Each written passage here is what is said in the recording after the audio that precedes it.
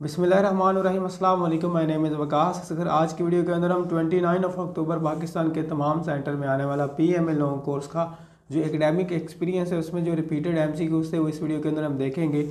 और 28 ऑफ़ अक्टूबर, यानी कि जो कल का एक्सपीरियंस था, वो भी मैं वीडियो के अंदर इस चैनल पर अपलोड कर चुका हूँ। उसका लिंक वीडियो के डिस्क्रिप्शन के अंदर अवेलेबल है। वहाँ से जाके आप ज्वाइन कर सकते हैं। अगर आपने फ्री व्हाट्सअप ग्रुप हमारा ज्वाइन करना है हमारा तो वो आप जो है ना उसका लिंक भी वीडियो की डिस्क्रिप्शन के अंदर अवेलेबल है। वो भी आप वहाँ से जाके ज्वाइन कर सकते हैं। अब हमारे पास जो फ़र्स्ट वाला क्वेश्चन है the kiwi is associated with जो कीवी है, वो हमारे पास एक फ़्लाइट लेस बर्ड होता है और फ़्लाइट लेस से मुराद ये है कि वो एक नाम तो हम उसको बर्ड का ही देते हैं, लेकिन ये उड़ नहीं सकता, ठीक है? वैसे इसके बारे में ये भी आ जाता है कि flight flightless bird is नीचे ऑप्शन दिए होते हैं। तो ये एसोसिएट है न्यूजीलैंड के साथ, इसको सिम्बोलिकली रिप्रेजेंट करता है न्यूजीलैंड और ये उनके लिए एक प्रॉस्पेरिटी की एक जो है ना वो सिंबल समझा जाता है। तो न्यूजीलैंड जो है ना वो इसको काफ़ी ज़्यादा सिम्बोलाइज़ करते हैं। तो करेंसी ऑफ़ न्यूजीलैंड यहाँ पर एक क्वेश्चन पूछा गया था तो उसको हम कहते हैं न्यूजीलैंड डॉलर और उसके बाद हमारे पास कैपिटल सिटी जो है न्यूजीलैंड का वो क्या है? वो विलिंगटन तो ये हमारे पास जो है ना वो न्यूजीलैंड के वालेकुम। हमारे पास 155 पी एम लॉन्ग कोर्स की प्रेपरेशन के लिए कंप्लीट नोट्स अवेलेबल हैं, जिसकी passing guarantee pro genius students की तरफ़ से 100 परसेंट है। इनमें सबसे पहले आपको वर्बल इंटेलिजेंस की एक फ़ाइल प्रोवाइड की जाएगी, जिसमें टोटल 105 105 वर्बल्स के क्वेश्चंस दिए जाएँगे और सारा का सारा वर्बल आपको इसी एक फ़ाइल में से आएगा, क्योंकि एक रिपीटेड फ़ाइल है। सेकेंड नंबर पर इसके साथ आपको तीन नॉन वर्बल की फ़ाइल्स दी जाएँगी और जिसके साथ साथ बीस वीडियोज़ की एक प्ले लिस्ट भी प्रोवाइड की जाएगी, जिसमें आप बसानी नॉन वर्बल के सोल्व करने का मेथड जो है वो समझ सकेंगे। थर्ड नंबर पर सबसे इम्पोर्टेंट चीज़ होता है एकेडमिक और इसकी सिर्फ़ और सिर्फ़ तीन फ़ाइल से आपका कंप्लीट एकेडमिक कवर हो जाएगा और ये भी हमारी हंड्रेड परसेंट गारंटी है। जिसमें 149 से लेकर 154 पी एम लॉन्ग कोर्स तक तमाम repeated GK Islamic study English and math include किया गया है और हर साल इन्हीं तीन फ़ाइल से तमाम स्टूडेंट्स का जीके का पोर्शन बसानी क्लियर हो जाता है। अब आ जाते हैं जी इसके साथ साथ बोनस पॉइंट की तरफ़। तो मज़ीद आसानी के लिए हम आपको 18 18 मॉक टेस्ट के पासवर्ड भी प्रोवाइड करेंगे, जिससे घर बैठे इजीली हर टेस्ट की प्रैक्टिस की जा सकती है। और इसमें साथ साथ आपको एक स्पेशल व्हाट्सएप ग्रुप के अंदर ऐड भी किया जाएगा, जहाँ आप बाकी P M A long course के कैंडिडेट्स के साथ कॉन्वर्सेशन कर सकते these all P D F notes mock test and special WhatsApp group ये तमाम चीज़ें हंड्रेड परसेंट गारंटी के साथ आपको मिलेंगी, सिर्फ़ और सिर्फ़ ट्वेंटी टू हंड्रेड फ़ी के साथ। और अगर आपने ये बंडल बाय करना है, हमारे गिवन नंबर्स पर कॉन्टैक्ट कर सकते हैं। आपको फौरी ये सारी चीज़ें प्रोवाइड कर दी जाएँगी। अल्लाह आप सबको कामयाब करे। थैंक यू अल्लाह हाफि कुछ पी एम में पूछे गए तो यहाँ पर ऐड कर दिए हैं। Which is the smallest river in the world दुनिया के अंदर सबसे छोटा जो रिवर है, वो कौन सा है? तो उसको हम रो रिवर कहते हैं और ये यूएसए के अंदर है। और उसके बाद एक क्वेश्चन आता है कि जो लार्जेस्ट रिवर वर्ल्ड दुनिया का सबसे बड़ा जो रिवर है, वो हमारे पास नील रिवर है। और उसके बाद ये सबसे जो डीपेस्ट रिवर यहाँ पर डीपेस्ट रिवर लिखा हुआ है वो द कोंगो है। अब कुछ और क्वेश्चंस भी पूछे जाते हैं यहाँ पर मैं आपको बता देता हूँ। एक तो पूछते हैं कि जो डेड सी है, वो कहाँ पर है? ठीक है, इसकी आपको लोकेशन पता होनी चाहिए।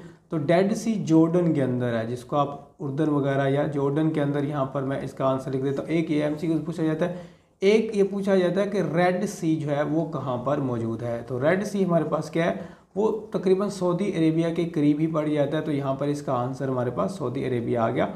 और उसके अलावा एक और क्वेश्चन जो ना, वो लोकेशन के हवाले से पूछते हैं आई थिंक सो हाँ। वो हमारे पास पूछता है जी जो रेड सी है डेड सी और एक पूछता है वो ब्लैक सी क्या वहाँ पर है। तो ब्लैक सी हमारे पास जो है, वो है टर्की के करीब। तो टर्की यहाँ पर इसका आंसर आएगा।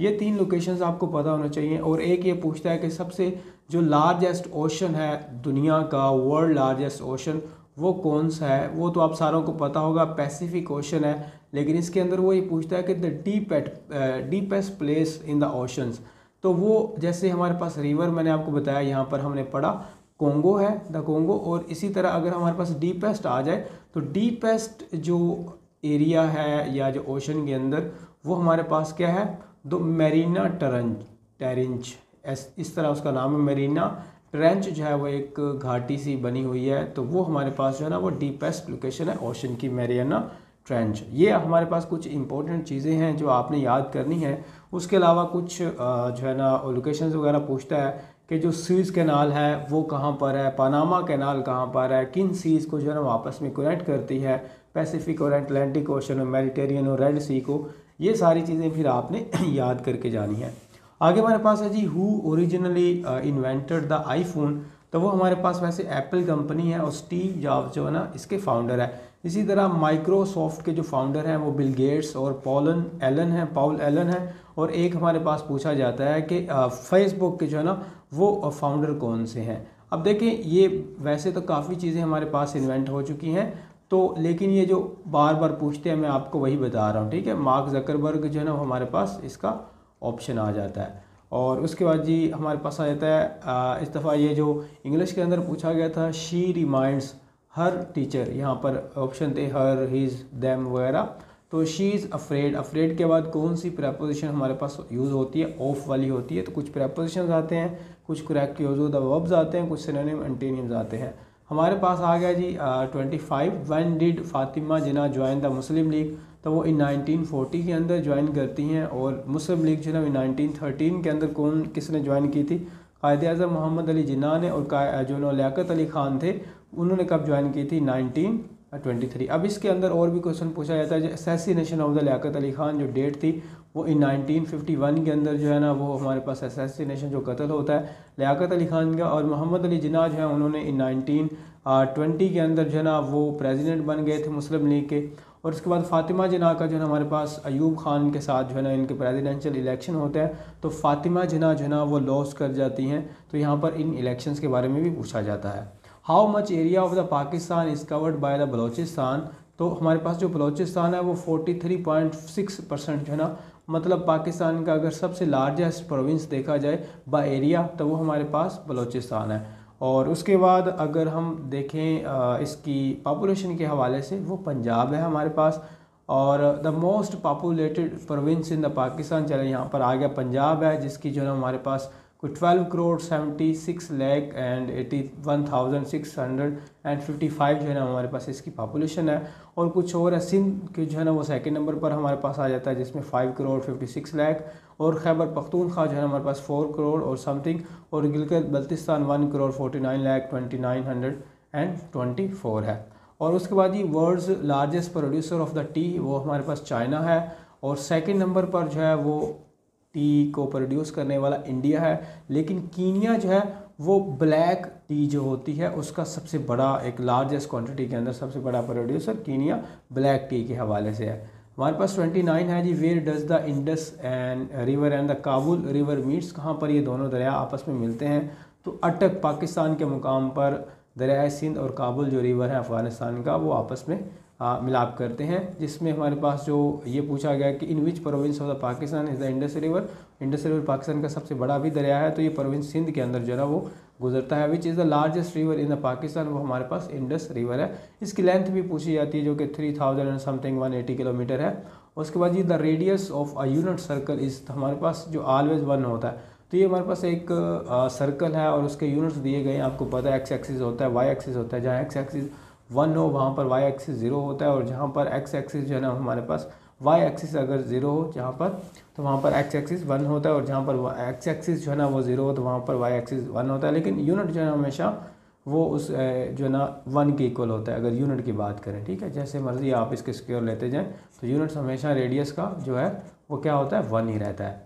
आगे हमारे पास है जी one when a positive number is multiplied by another negative number then the answer will be बड़े बच्चों वाला उन्होंने क्वेश्चन किया है हमारे पास ये आपको पता है जी सिग्नेचर्स का साइंस का सॉरी तो प्लस को अगर प्लस से मल्टीप्लाई करें प्लस आंसर आता है माइनस को माइनस से मल्टीप्लाई करें तो प्लस आता है। इसी तरह ऑपोजिट के अंदर डिफरेंट साइंस के अंदर प्लस को माइनस से करें तो माइनस आता है माइनस को प्लस से करें तो माइनस होगा। मतलब ये के स्टूडेंट की तरह ये क्वेश्चन है। Which is the headquarter of the Asian development bank तो ये हमारे पास कहाँ पर है? मैनीला, फ़िलिपीन के अंदर जो है ना वो ये बार बार पूछा जाता है। आपने फ़िलिपींस याद कर लेना या मेट्रो मैनीला, बस इतना से याद कर लें। Second largest country world area by, area wise तो वो हमारे पास कनाडा है। फ़र्स्ट नंबर पर कौन सा है? फ़र्स्ट नंबर पर हमारे पास रशिया है। ये नाइन्टी नाइन लैख है और ये वन करोड़ और सेवेंटी लैक है। और इसके बाद थर्ड नंबर पर नाइन्टी सेवन लैख जो है स्क्वेयर किलोमीटर वो चाइना है हमारे पास।